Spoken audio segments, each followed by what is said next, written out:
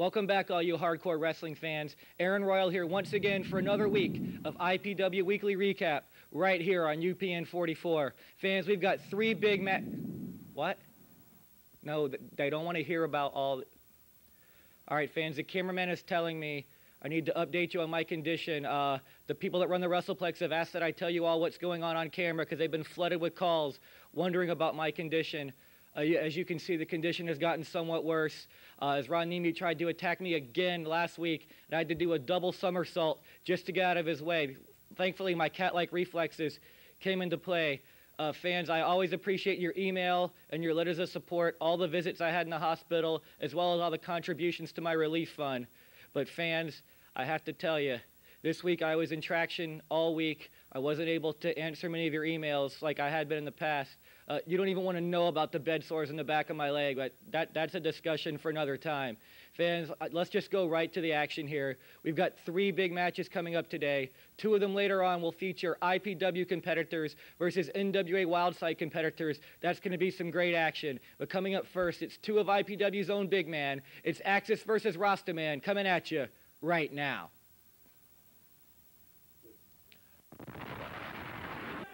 Go fans, as I just told you, of the big men here in IPW, it's Axis versus Rastaman. And Ron, this should be an extremely brutal confrontation between these two big men. This should be brutal, but you know, Aaron, I hated to break you the bad news that no, that was not the lead singer of Right Said Fred. I knew how much you had your heart set on seeing that individual. Well, I was a little bit disappointed, but I have got to see him seven times already at various fan fests around the nation. So I'll take Axis versus Rastaman, excuse me, right here on IPW Weekly Recap. Not many people know this, but Axis was trained at the WrestlePlex by one Rastaman, and lately these two haven't been seeing eye to eye. Rastaman is extremely popular here in IPW. Axis used to be a big fan favorite here, but he's not going to win any more fans by going up against someone as popular as Rastaman. Now, Axis was obviously listening to all the vicious rumors circulating throughout the dressing room and throughout the wrestling business. That's all Rasta Man can do is brawl. That's all he can do is come out and fight, punch, and kick. Not true. Rasta Man, one of the most technically gifted wrestlers in all of IPW hardcore wrestling, and one of the most experienced worldwide on many tours through Germany, Puerto Rico, and Japan. Yes, Ron, that's very true. We've mentioned that several times here in IPW Weekly Recap. Many of our superstars here in IPW are known all around the world, and Rastaman is one of the biggest stars we have here in IPW as far as an international level is concerned. And Ron, what you said, people say that this man can only brawl. Everyone who watches IPW knows that's not true. I hate to admit it because it's your guy, Mike Sullivan, but I've seen some great, great confrontations between these two. Sometimes Rastaman, then known as Navy SEAL, would almost turn into a high flyer, as would Marvelous Mike Sullivan. These two just seem to bring out the best in each other. Uh, right now, they seem to be on friendly terms, but you never know how long that'll last here in IPW with these two individuals. Axis levels Rastaman with a big boot to the face, follows right up with a nice snap suplex. I gotta admit it, Axis has come a long way since he comes strolling into the the Florida WrestlePlex over a year ago. He's bigger, he's stronger, he's meaner. The guy's pissed off constantly. Don't even ask me what, I don't know what his problem is. But truthfully, he is one of the guys that is the future of the independent scene. He can only get better in the ring with guys like Rastaman, and basically he's taking it right to the big man.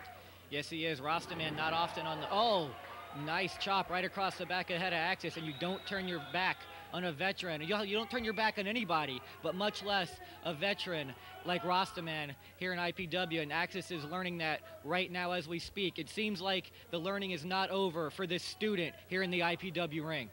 Rastaman is the type of guy that likes to party. He likes to come out and talk about the ganja. What's he doing there, Ron? What is that? That is because I don't know what what is that. That's not a lucha spot. It might be a variation of the abdominal stretch with the leg going over the head to stretch even further. Yes, which I believe he calls nice Rasta goodness, if I'm not mistaken. And he misses with a clothesline there. That's Axis. Uh, and Axis was very excited before this match because he got to debut his new outfit that he got from Demolition Axe. A gift given to him by a ring veteran, handed down to him on a tour of Lutz in Newport Richey, where they wrestled on the flea market scene.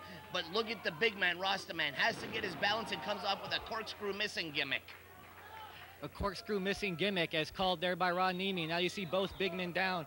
Rastaman holding his back in pain there as he was way, way up in the air on that maneuver and came down very hard. It seems like uh, maybe uh, Rastaman needs some chiropractic services, but if you need anybody help with anything, temporary services of any nature, you can call Able Body Temp Services. That's 727 something something something 1111. The number's not here in front of me, Ron. Do you know it? Of course I do. You're the worst shameless plug guy in the business. That's able body temporaries at 727 771 1111. You're terrible, Aaron. Well, I try, Ron Niemi. I'm not here to do plugs. I'm here to talk about IPW wrestling. You seem to think that there's all sorts of things I'm here for, like being your punching bag, which just aren't true. And I'm here trying to do my job, but you make it very hard sometimes with this thing you put in front of me, trying to do plugs. I'm just trying to call wrestling, brother. Now, if you go to ProWrestlingDaily.com, you can get some pictures of Aaron Royal getting slapped across the face by the hardcore giant. And if you don't sit here and quit getting mouthy with the man of the hour, Ron. I'm going to slap you again. I'm going to take you in Rasa style, reverse it, whip you in, and you're not going to come at me with a double axe handle like Axis just did.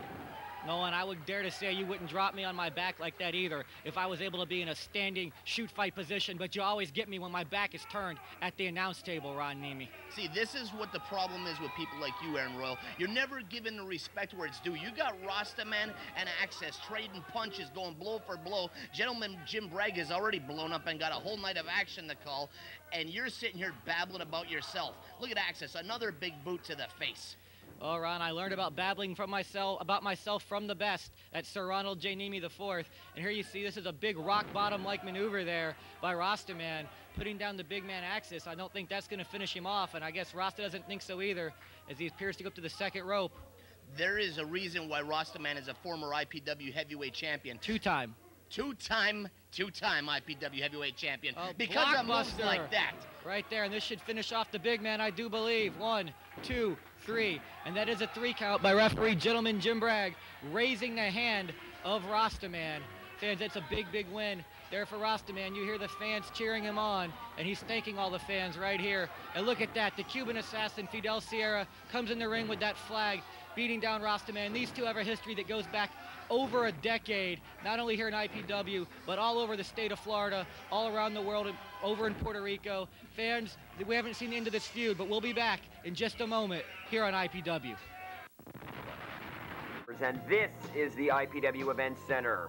IPW returns to the Florida WrestlePlex Saturday night, November 24th for the November to Dismember 2001. Already signed. Scoot Andrews versus AJ Styles for the IPW Heavyweight title. The Shane Brothers versus Quickie Mart inside a steel cage. And the Madman Jet Jaguar teams with the insane Von Tankard as they battle Chaos and David Young. Then IPW invades the Outpost for the very first time on December the 1st. And December the 8th, IPW returns to the Florida WrestlePlex. As always, for the very latest on all these events, be sure to check out IPW-hardcore.com. Hey, this is Cal Edenputz from the Steel Cage on Sports Radio 1010 The Team. And you're watching IPW Hardcore Wrestling on UPN 44. Yeah. All right, fans, this is the first of two big IPW versus NWA Wildside matches. Right here, you have IPW's Naphtali going up against NWA Wildside's Jimmy Rave, the former NWA Wildside Junior Heavyweight Champion, and he was able to get a victory over Albino in Ybor City a few weeks ago. We'll see if tonight Naphtali can get his revenge and defend the honor of IPW. Hey, get his name right. Is it Albino or is it Naphtali?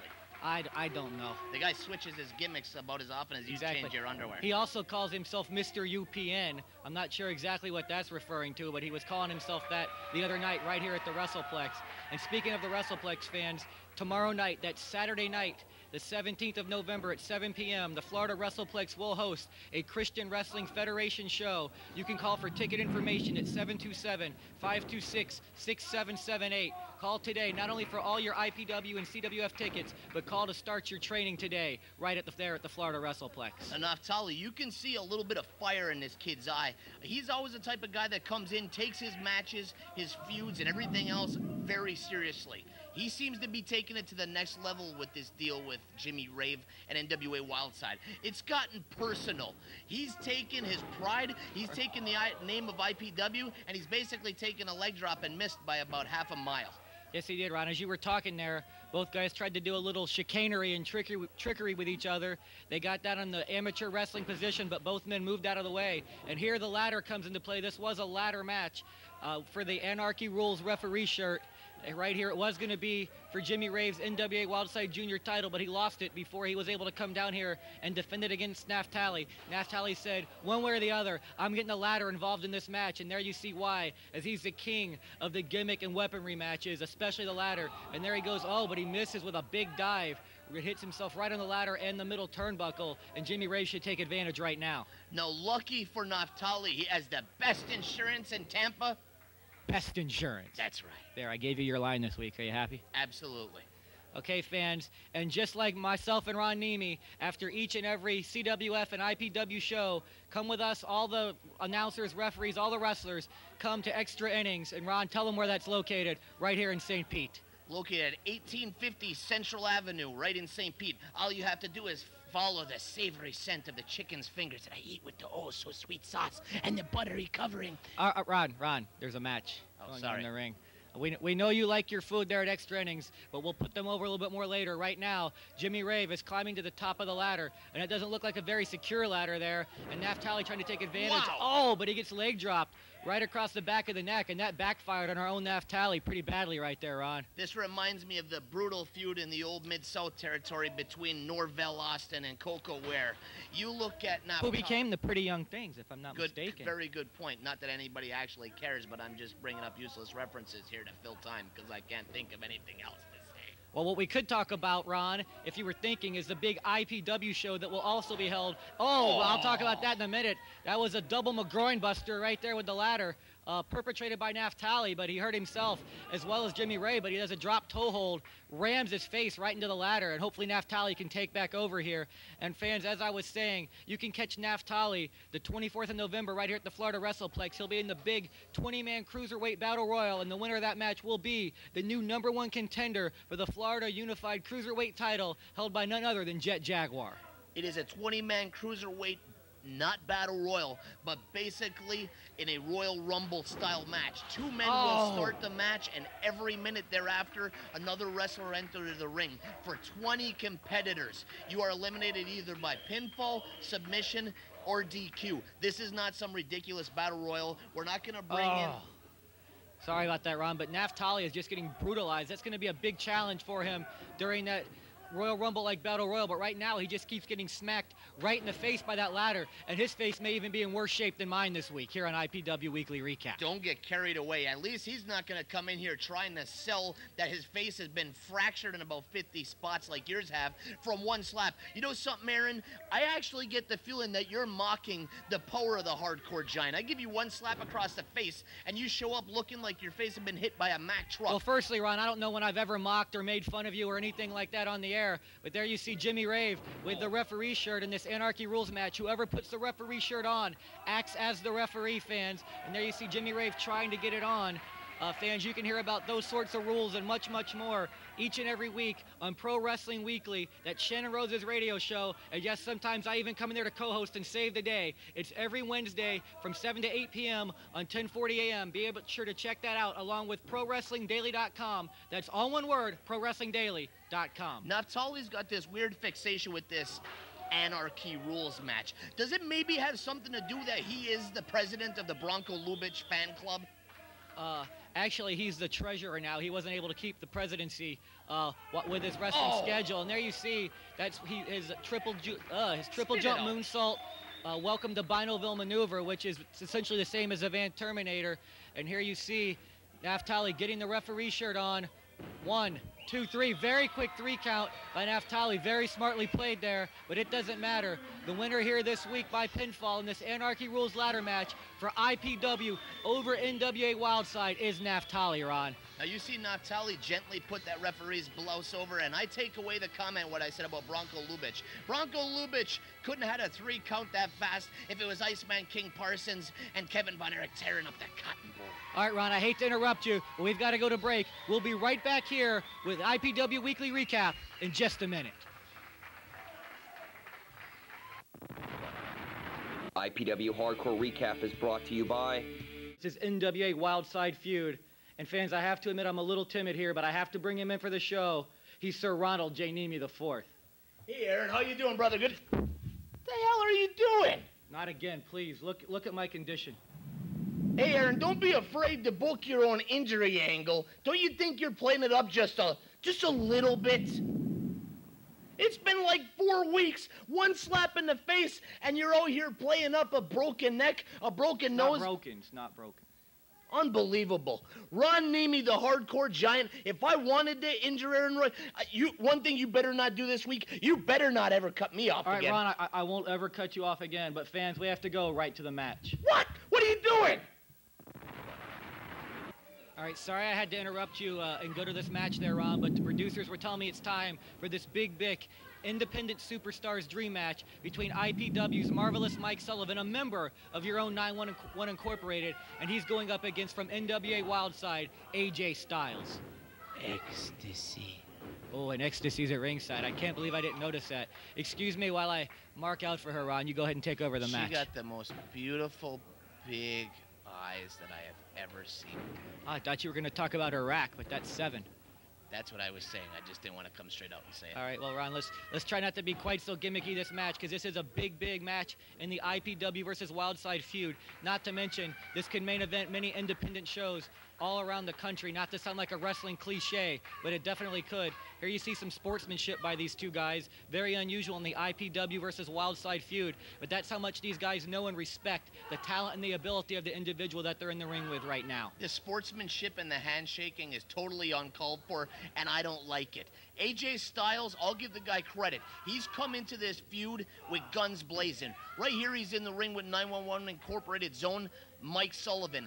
And on the 24th of November at the Florida WrestlePlex, he will challenge for the IPW heavyweight title held by one Scoot Andrews. Yes, he's challenged for that title before and was beaten by Scoot Andrews. And fans, whatever the outcome of this match, AJ Styles will wrestle for that title in another big IPW versus Wildside feud match on the 24th of November, right here at the Florida WrestlePlex. Call 727-526-6778 to get your tickets. Not only that, fans, but remember tonight, Saturday the 17th, right here at the WrestlePlex, there will be a Christian Wrestling Federation show. Bell time is 7 p.m. Be sure to come to both big events here at the WrestlePlex. The Florida WrestlePlex houses some of the best wrestling action in the entire country and also trains the best talent to come out of Florida in many, many years. You see Mike oh, Sullivan- look see- at that. That's what- why you don't do the handshakes, Ron Exactly. Niemi. That's what you were talking about. Exactly. AJ Styles is always thinking. He's the type of guy that'll reel you in with that handshake, and then he'll punch you one right in the mush for your troubles. And he knows better. Look, wow, maybe he doesn't know better. Who's gonna start Look at them trading chops? chops with Mike Sullivan. Oh. That's not very smart. No. You might as well be trading chops with Ric Flair or Chris Benoit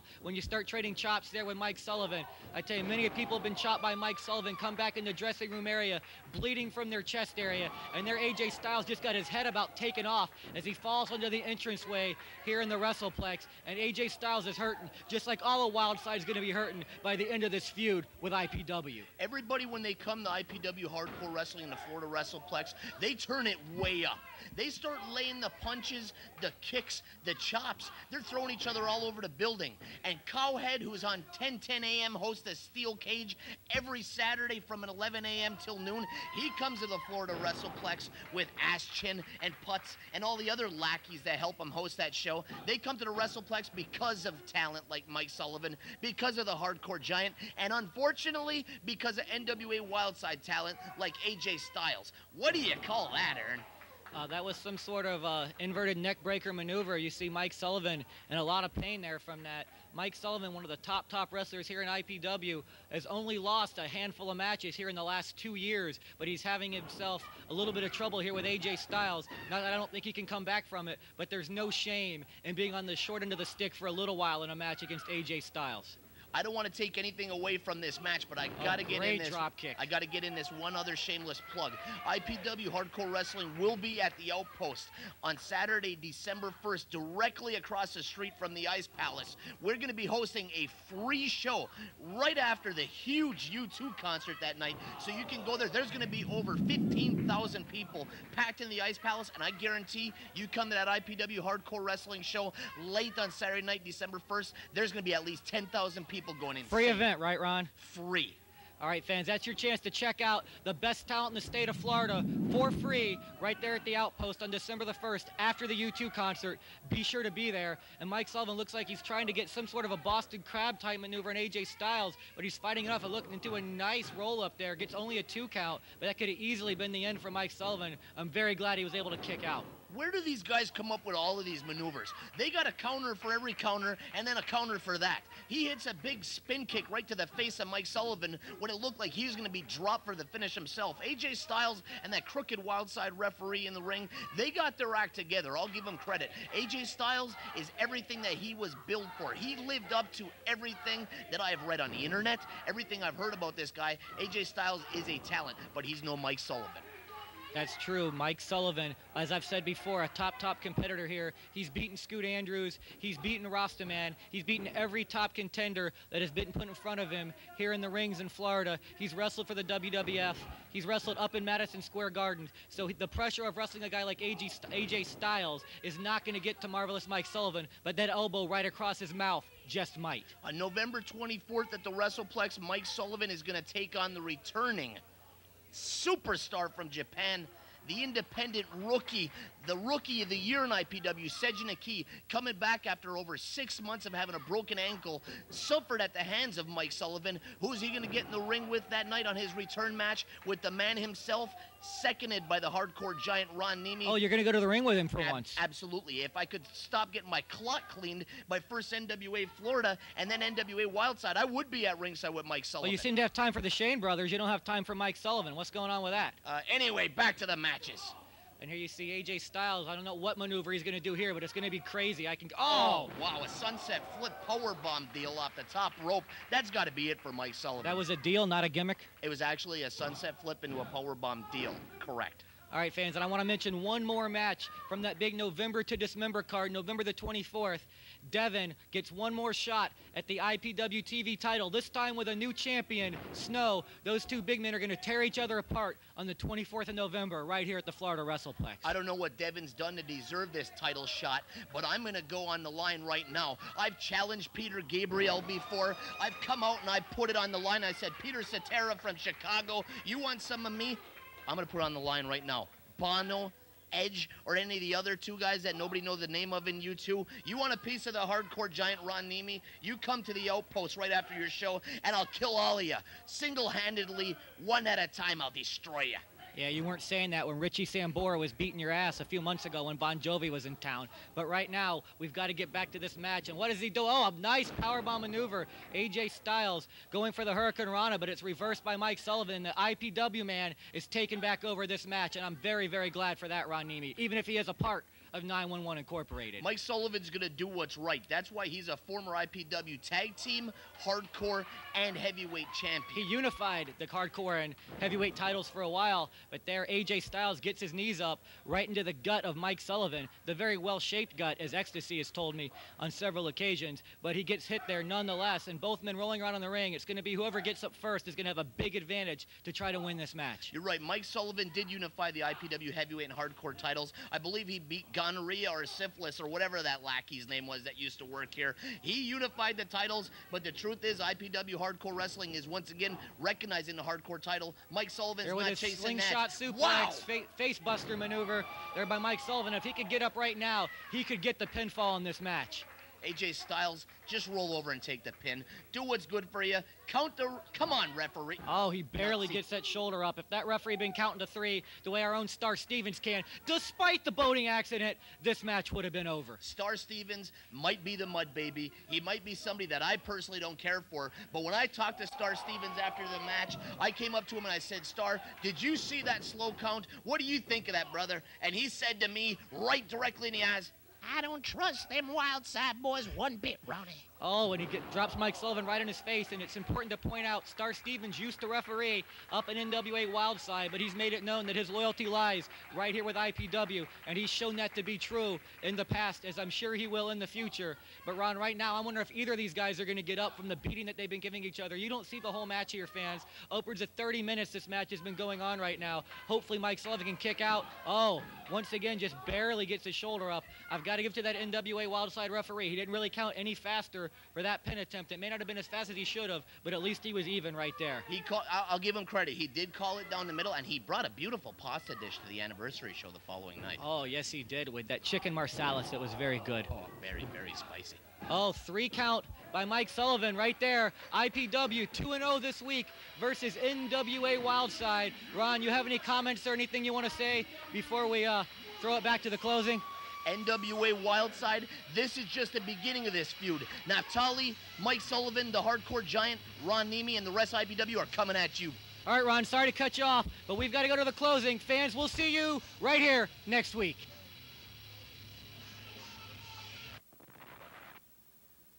All right, you're sure he's gone, right? He's not coming back? All right, let's get this done just in case before he does. Fans, we have to congratulate Mike Sullivan, whether you like him or not. That's a big, big victory for IPW right here in our feud with NWA Wildside. And I can assure you, fans, that feud is far, far from over. Bill Behrens, you bit off more than you can chew. I may not like Ron Niemi. He may attack me for no apparent reason whatsoever each and every week right here in IPW Weekly Recap on UPN 44. But Bill Behrens, he's a lot better promoter than you, and he's going to come. If he can do this to me, imagine what Ron Niemi could do to somebody like you.